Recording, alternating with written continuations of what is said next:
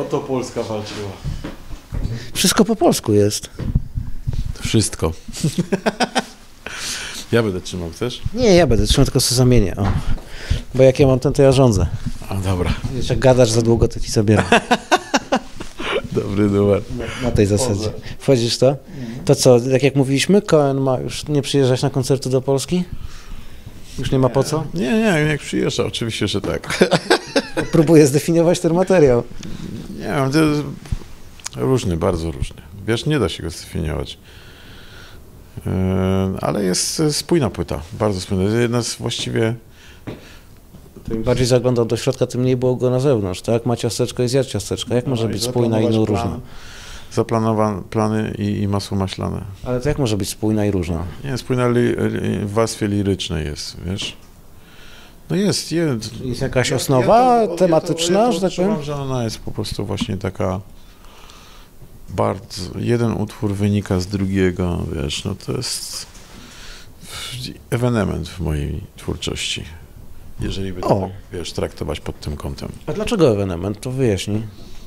No Wcześniej, y, niezależnie od wiesz, okoliczności, dobierałem utwory takie, budowałem sobie płyty na zasadzie the best, nie? czyli wybierałem sobie na przykład 10 czy 12 piosenek, zastanawiałem się, która w jakim stylu może być wykonana i potem sobie to robiłem i taką płytę przebojową tworzyłem. Czy się zastanawiałeś na przykład, jak to będzie szło w radiu i dobra, to biorę, a tamto nie? Nie, no, wiesz, a tą sobie zrobię tutaj tak troszeczkę może reggae, tutaj sobie zrobię taką balladkę, tu sobie nawiążę na przykład do Bon Jovi, tutaj sobie zrobię tak jak w, na przykład, w, nie wiem, chciałem powiedzieć Smashing Pumpkins, ale to bym zażartował, na przykład The Smith, wiesz, a tutaj taki patencik przemycę to, a to jest zupełnie inaczej.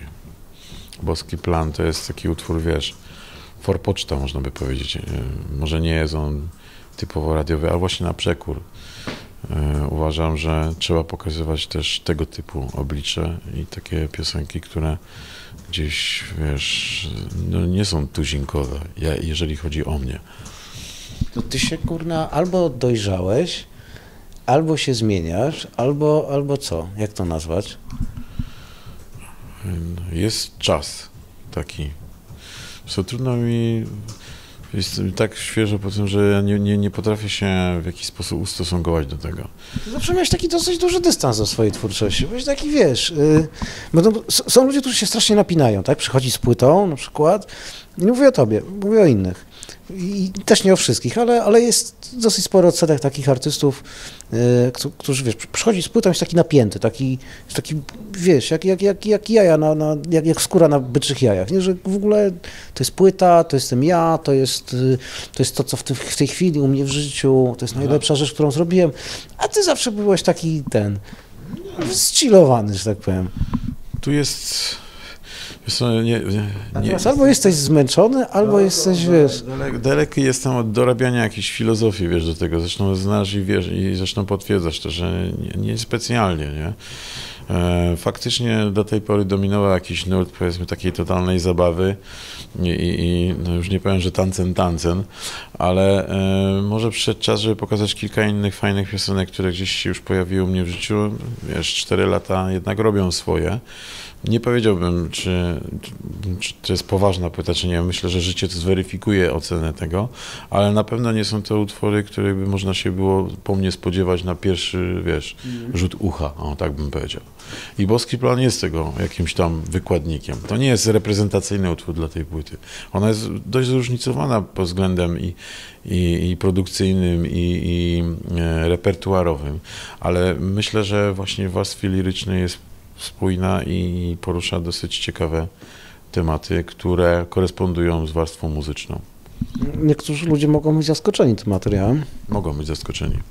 Najlepiej powiedzieć dyplomatycznie, że sam jestem zaskoczony tym materiałem. Tak to, tak to, tak to każdy mówi, wiesz.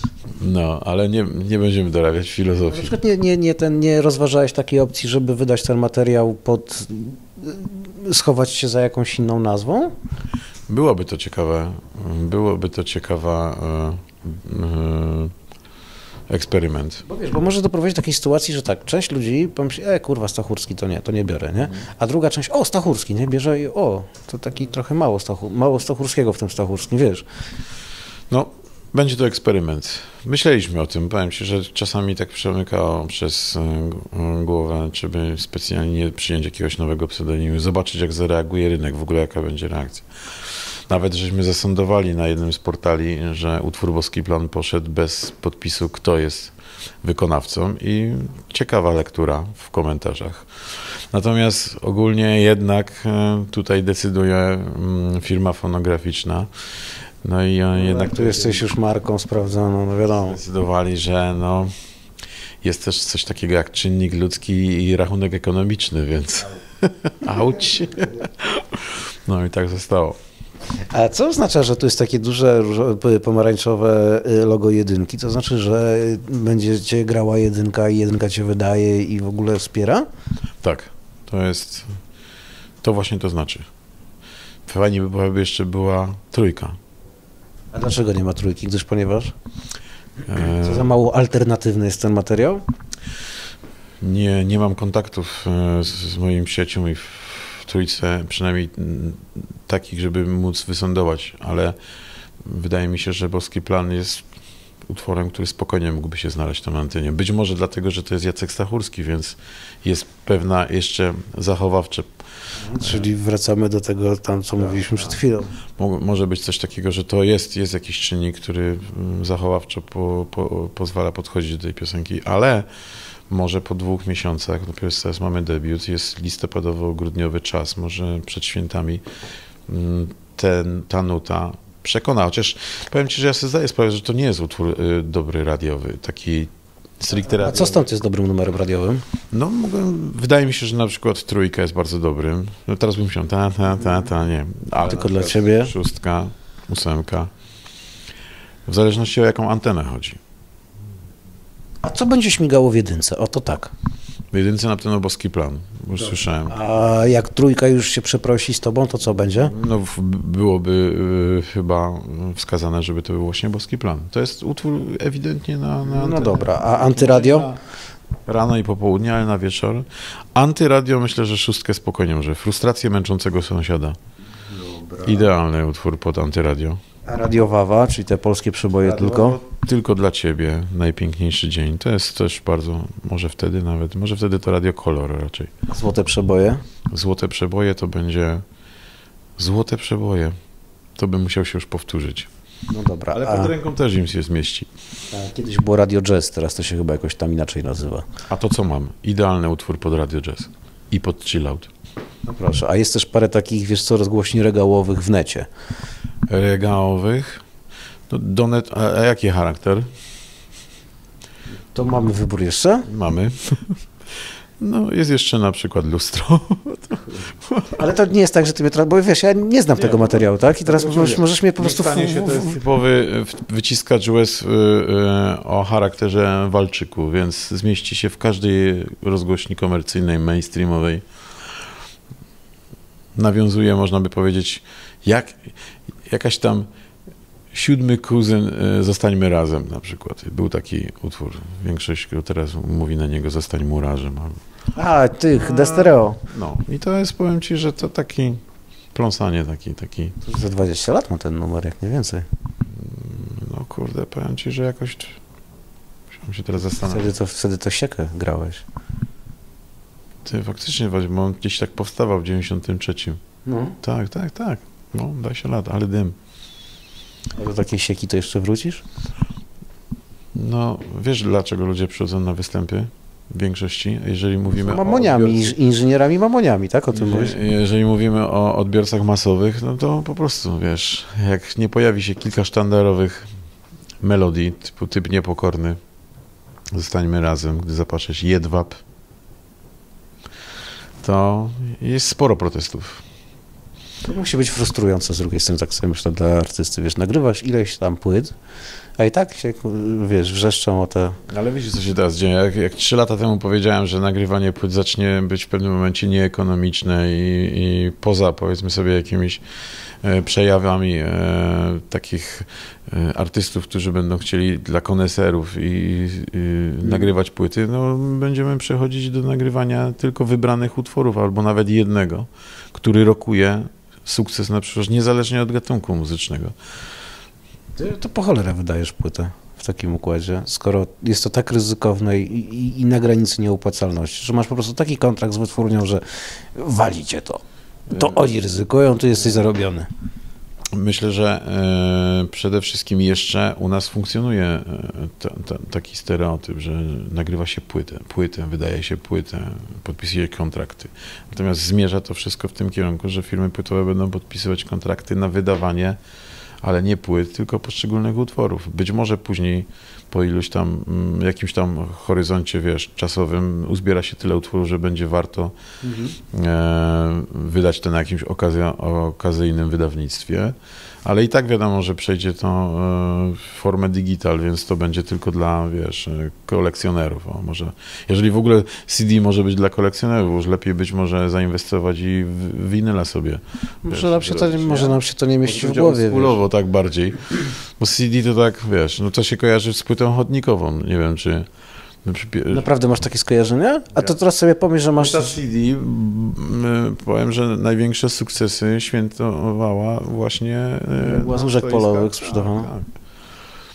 Nie mówię o zawartości, ale sam fakt, dlatego... Ale wiesz co, może to dlatego, że w, przy tej fali piractwa wówczas e, ta płyta z, z, jak gdyby znalazła się w, w zasięgu wielu ludzi. Mówię o zasięgu finansowym, tak? Że nagle można ją było sobie kupić. No, tak. no bo to, to, wiesz, no ja pamiętam, jak ja kupowałem płytę raz na trzy miesiące i naprawdę na nią odkładałem. I to odkładałem, tak? No, ja pamiętam, wiesz, jak, jak się starałem, żeby wydać moją pierwszą płytę jeszcze wtedy zespołem takim rokowym, miałem Eve Boys i udałem się do takiej firmy, jakaś była Polmark tu w Warszawie i ta płyta miała wyjść, no niestety nie wyszła na kasecie, ale dlaczego? Dlatego, że wydawano wtedy Demono i to był jakiś w ogóle, wiesz, jeden z pierwszych y, wydawnictw, e, nie mówię, że ta firma, ale ogólnie wtedy się pokazała jedna z pierwszych wydawnictw CD na rynku, właśnie Demono. To była Demono to była jako pierwszy, tak. To była, po prostu, to była jakaś totalna rewolucja fonograficzna w Polsce wtedy. A, a ja starałem się o to, żeby jakby szybko, szybko nawiązać do tego i być jednym z pierwszych, który też wydał. Oczywiście to się nie udało, no ale to pamiętam, jaki to był, wiesz, no, skok mm, technologiczny i, i, i niby e, bodziec dla branży fonograficznej. No, natomiast samo Teraz... To też było ryzyko wtedy trochę, wiesz. No przecież Demono po paru latach y, też chcieli, jako, jako pierwsi wydali płytę na pendrive'ie. E, no i co niestety dupa, tak, wtedy. To się nie udało, no to faktycznie. No, prawda jest teraz taka, że postęp technologiczny spowoduje, że e, muzyka kiedyś, o, o co zabiegaliśmy, żeby była dostępna i żeby była w sieci, spowoduje, że po prostu Wiesz, będzie wszystko w sieci, natłok muzyki, ilości no, e, nowości, które się pojawiają, można powiedzieć codziennie czy co tydzień jest tak duży, że piosenka po dwóch, trzech tygodniach, która jest nowością, już jest po prostu, wiesz, obsłuchana i tak na dobrą sprawę traci... Spada, spada, spada z rotacji. To teraz wyobraź sobie, że artyści siadają, tworzą mm, materiał, potem y, zajmują się produkcją i logistyką, potem firma musi to wydać, musi zadbać o to, żeby w miarę zawiadomić odbiorców, że już taka płyta jest, więc wiesz, wiadomo, teledysk i tak dalej, i tak dalej. No i potem tej płyty się sprzedaje 5 tysięcy w sklepie. Daj Boże w niektórych przypadkach. No, no i spadaka. Więc może się okaże, że może lepiej wyselekcjonować jakieś, wiesz, na dobrze przygotowanej grupie badawczej spośród tych piosenek wybrać jedną, dwie, które warto promować i jak się wypromują i będą przeboje, to wtedy, mm. wiesz, firma nie traci na tym za dużo. Jest jeszcze bagaż piosenek, które gdzieś tam są w zanadrzu i zawsze można jeszcze coś bardziej kombinować. Zresztą rynek singli teraz wiadomo, na iTunesie i na wszystkich innych portalach handlujących digitalu no, pokazuje, że taka jest tendencja i od tego się już nie ucieknie.